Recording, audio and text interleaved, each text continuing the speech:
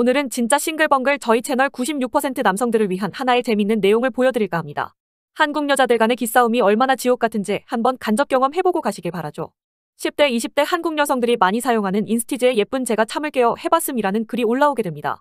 이 글은 지금 여초 커뮤니티 전역으로 퍼져나간 글이고 저는 지금부터 여자들끼리의 기싸움을 번역해드릴 예정입니다. 일단 글쓴이는 글 시작부터 본인을 질투가 하나도 없고 기싸움 이런 거 잘 못한다. 나보다 어리고 예쁜 애들 질투는 해본 적 없고 화장이랑 관리 빡세게 해서 예쁜 건데 그걸 질투할 필요는 없다. 라면서 자신은 일단 질투가 없고 기싸움을 하지 않는다고 강력히 주장하고 있습니다. 나 조소기업 일하는데 나를 진짜 싫어하는 11살 많은 한국 여자가 있음.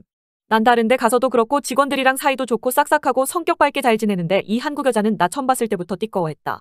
라면서 이 글 쓴 한국 여자는 끊임없이 자신은 밝고 명랑하다라고 스스로 호소를 하고 있습니다. 내가 머리 새로 하고 오면 대놓고 쯧쯧거리더니 지도 나 따라서 머리하고 오는 스타일임. 그래서 나는 이 한국 여자가 왜 이러나 하나도 모르겠어서 친구에게 물어봤더니 친구가 말하길 그 여자가 나를 질투하는 거라고 알려주더라.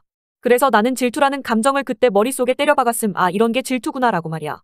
근데 나는 질투라는 감정이 이해가 잘 안 가 어째서 자기 시간과 노력을 투자해서 남을 괴롭히는 거야. 라면서 이 글 쓴 한국 여자는 질투라는 감정을 이해 못할 정도로 순수하고 순박하다는 걸 강조하기 위해 친구가 질투라 알려줘서 알게 되었다 말을 하죠.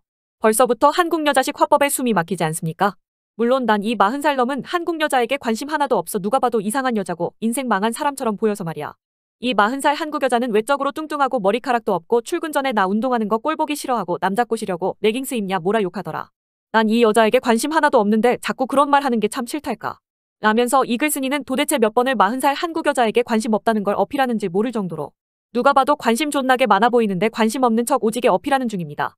어느 날 그 언니가 자기가 커피 타준다고 마실 사람 물어봐서 저도 마실래요라고 말했더니 이빨 꽉 다물면서 니가 타서 마셔 이러면서 협박하더라.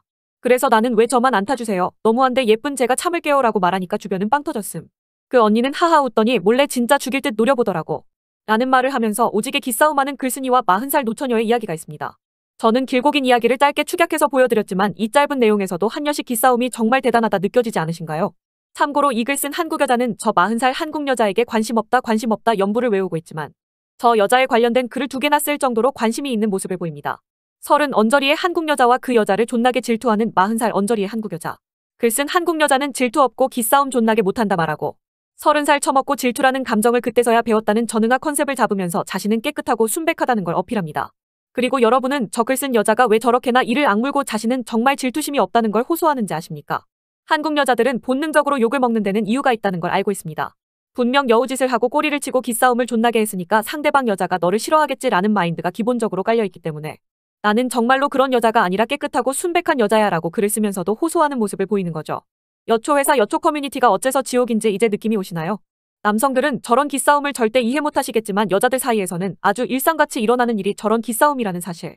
여저견은 진리라는 말을 끝으로 영상 마칩니다. 여러분의 구독과 좋아요는 은희의 간호사 PTSD 치료에 커다란 도움이 된답니다. 오늘의 한 줄 요약. 여자의 적은 여자다.